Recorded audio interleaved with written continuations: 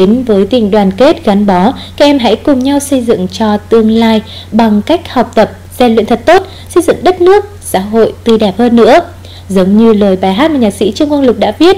tuổi thơ chúng em hôm nay sẽ là thế giới ngày mai. Sau đây xin mời quý vị các bạn và các em cùng đến với ca khúc Tuổi thơ hôm nay, thế giới ngày mai qua phần thể hiện của các em thiếu nhi, nhà thiếu nhi huyện Kim Sơn.